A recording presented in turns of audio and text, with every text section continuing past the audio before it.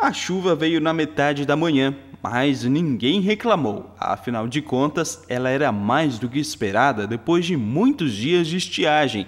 O evento era para que a população e entidades pudessem fazer a limpeza das margens do rio Araranguá. Autoridades participaram do evento. Eu já venho participando desse evento aqui, já em outras etapas que aconteceram, no Morro dos Conventos, em Ilhas.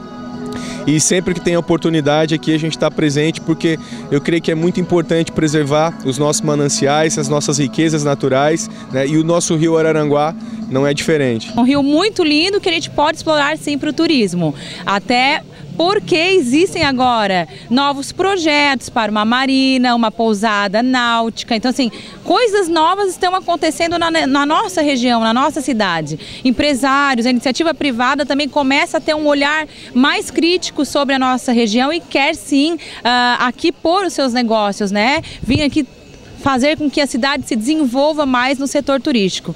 IPs árvores símbolo do município de Araranguá vão ser plantadas nas margens do rio. Esse projeto ele vem não só para frisar a importância da manutenção das, da vegetação ao longo dos rios, que a gente chama de mata ciliar, né, mas também trazer um pouco a consciência para o pessoal de que a gente precisa plantar mais. E o evento só foi possível por causa da ajuda de muitos parceiros.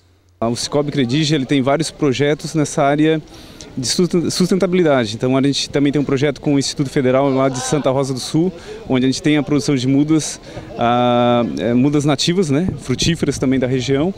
Então até a gente doou para o evento aqui para uma segunda etapa, né, algumas mais de 50 mudas para depois a gente fazer o plantio nas áreas mais degradadas aqui do Rio, né. A gente já fez outros trabalhos juntamente com ele em ilhas, em Morro dos Conventos e agora essa parte tão importante que é o nosso Rio Araranguá, um rio tão bonito e agora com este projeto ele vai ficar muito mais lindo.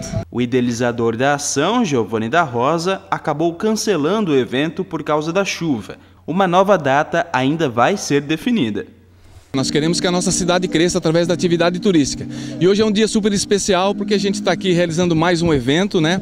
Nós já realizamos seis edições do projeto A Praia Nosso Pico e criamos esse evento na área urbana, que é o nosso rio, nossa mata ciliar, que nós vamos é, começar a limpar a nossa cidade começando pelo rio, né?